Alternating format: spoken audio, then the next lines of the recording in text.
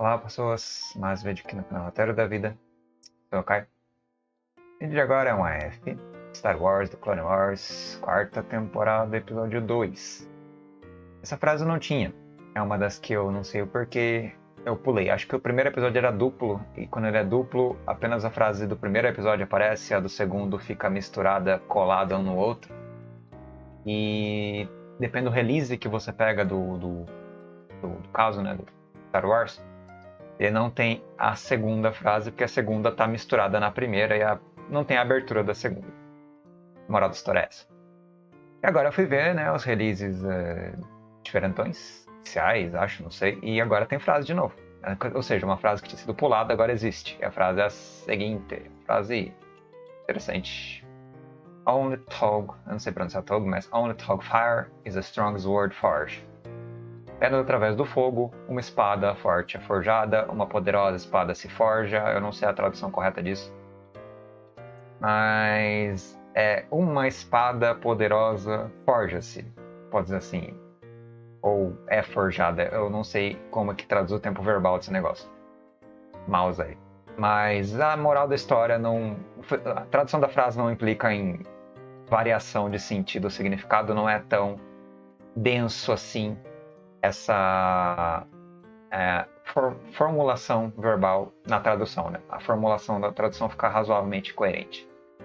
Então, essa frase é bem interessante. Eu gostei dela, achei legal, assim, traduzir com o Google Tradutor, e o Google Tradutor apenas através do fogo uma espada forte é forjada, então é essa tradução mesmo, não tem muito como fugir disso. Mas qual a moral da história, qual o sentido nuclear desse pequeno trecho, né? Temos aqui um único mecanismo, é um mecanismo unívoco, é uma via de mão única, não tem como ser através de outro modo, é apenas isso, é uma determinação, um destino, um propósito, um futuro. Apenas através do fogo.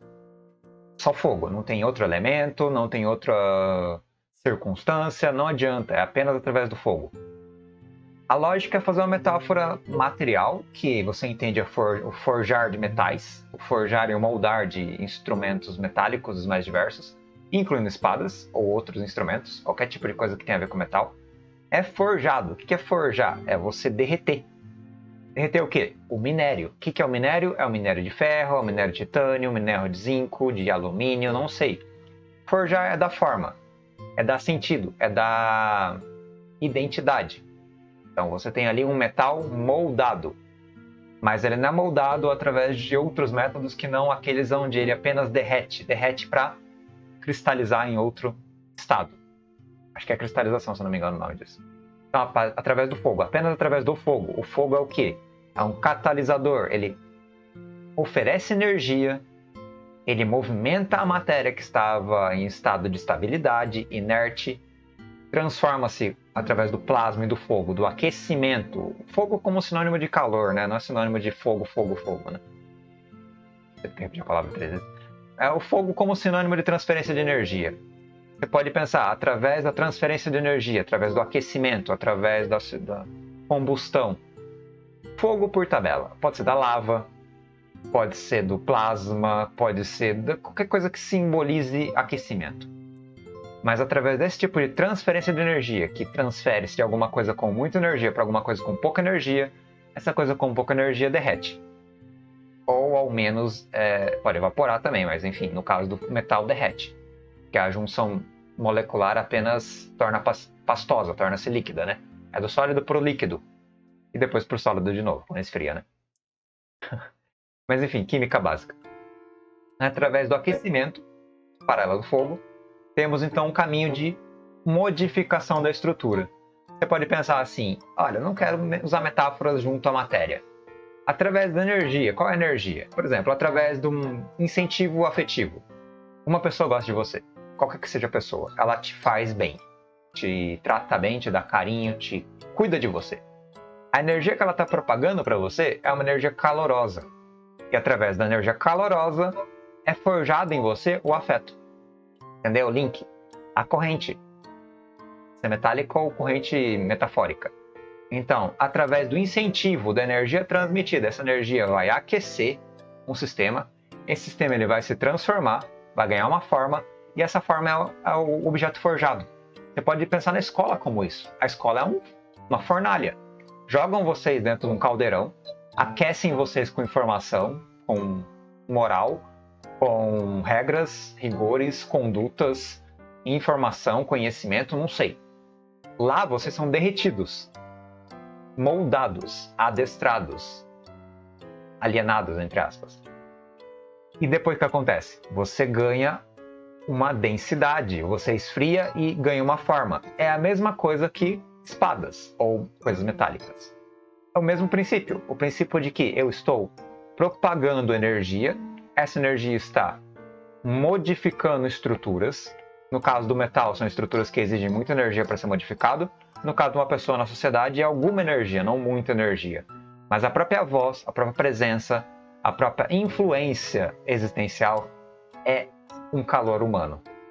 É um fogo moldando o metal ou o indivíduo, no caso. E está dizendo que a metáfora é mais bélica, né? A metáfora é bem bélica. É, quer dizer o quê? Através da dor, do sofrimento, através das circunstâncias agressivas, opressivas, são circunstâncias de grande energia, de grande aflito, de, de destruição, de violência, que é o fogo representado. Essa violência, ela forja o quê? Ela forja o metal. O metal é o indivíduo numa circunstância de violência, é o indivíduo na guerra, o indivíduo no conflito. Ou a própria constituição dele como guerreiro. O que é um guerreiro? É alguém responsivo, que é passivo-agressivo, entre aspas, que sofre pelo contexto. O contexto garante uma resistência, porque ele está vivo ainda, está resistindo. Essa resistência é uma resistência efetiva e competente, exitosa, com esmero e que busca o êxito, muitas palavras com E. E esse êxito é o que? É a lâmina que corta o destino. E essa lâmina que corta o destino foi forjada onde? No calor da violência, no calor da batalha.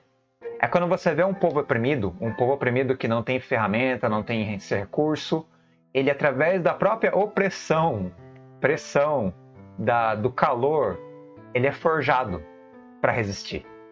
Isso é bonito por quê? Porque bonito no sentido de que você vê povos oprimidos sobrevivendo, agarrando-se à vida. Logicamente, certo limite, se você esquentar demais, aquilo evapora e deixa de ter potência de resistência. É como se você jogasse eh, um metal no, no sol.